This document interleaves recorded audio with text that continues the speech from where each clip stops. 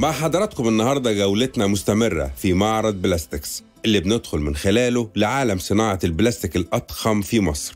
وكفاية إن صادرات البلاستيك مع المطاط وصلت لحوالي 4.5 مليار دولار في عام 2021 ده بخلاف تغطية احتياجات السوق المحلي من منتجات البلاستيك بنسبة 100% وبيقوم عليها حوالي 7120 مصنع في مصر. وفيها 520 ألف عامل واستثماراتها تجاوزت 115 مليار جنيه. شيء مهول فعلا.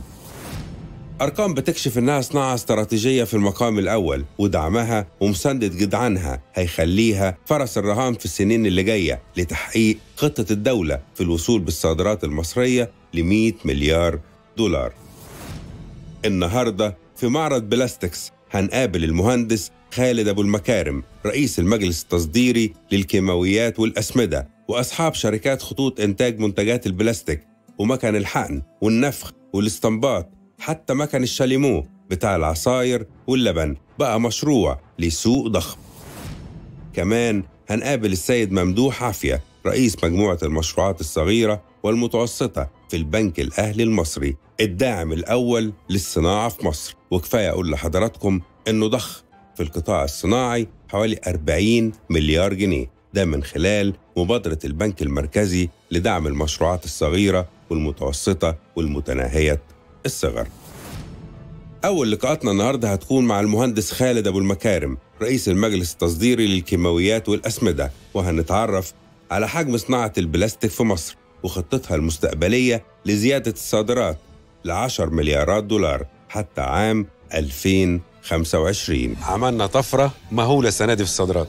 ستة وستة من عشرة مليار دولار. منها أربعة ونص مليار دولار بلاستيك ومطاط. عملنا ده إزاي؟ إحنا طبعا وصلنا ل- لهذا الرقم في البلاستيك والمطاط 4.5 مليار. ووصلنا لحجم صادرات صناعات كيماوية ككل 6.6 من عشرة مليار دولار. طبعا ده كان مش عايز أقول حلم لكن هي الطفرة جاية منين؟ الطفرة جاية إن إحنا محققين 43% نسبة زيادة عن العام الماضي وده لم يحدث قبل كده. لكن عايز أكلمك إيه السبب الرئيسي؟ في الحقيقة إحنا كان عندنا أكتر من سبب.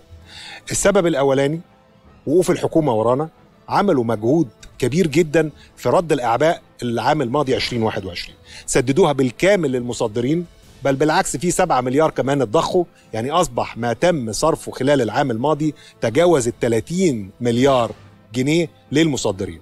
المصدر عمل إيه بالفلوس دي؟ قدر يطور نفسه قدر يحدث مكنه قدر يسدد الالتزامات اللي عليه سواء كان للموردين للبنوك. سبب تاني رئيسي برضو الحكومة ساعدت فيه عدم توقف المصانع. أغلب الدول زي الصين زي تركيا وغيرها قفلت مصانعها. قفلت مصانعها تماما إغلاق تام. عادت الناس في البيوت. ده لم يحدث عندنا في مصر. ساعد على إيه؟ ساعد إن إحنا بقى ال supply chain بتاعنا قوي جدا. ال- ال- الدول اللي كانت بتستورد من الدول اللي غلقت ابتدت تدور على البديل. كان البديل الأقرب مصر. مصر وال quality عالية والأسعار جيدة جدا والمنتج موجود.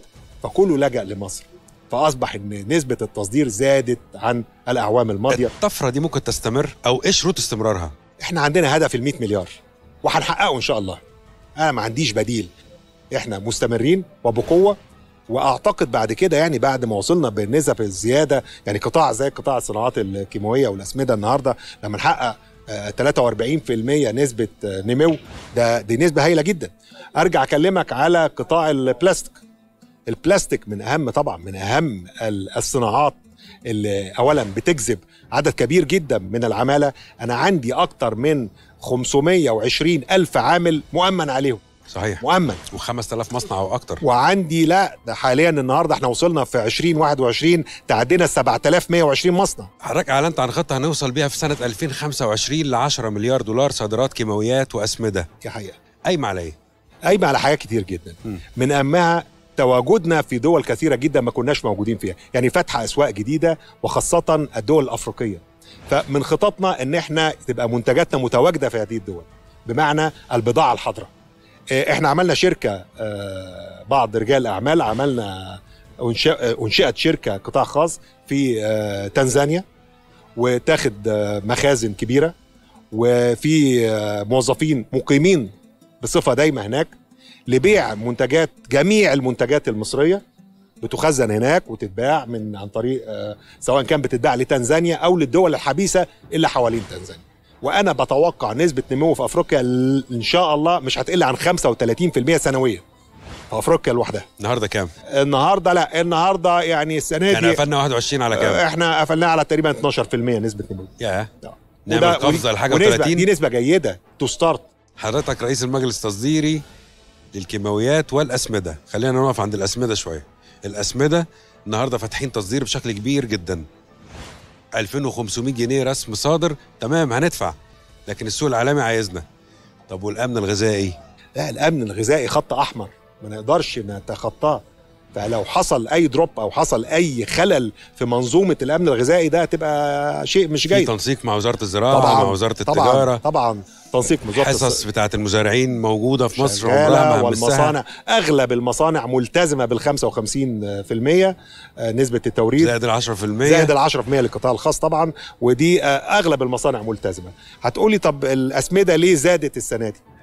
إحدى الأسباب القوية جدا الاتفاقيات التجارية. عندي أكتر من 22 اتفاقيه تجارية مع صحيح. أغلب الدول العالم. آخرها اتفاقية الميركوسور اللي اتعملت مع أمريكا اللاتينية. أمريكا اللاتينية اللي بتشمل البرازيل والأرجنتين وأورجواي وبرجواي.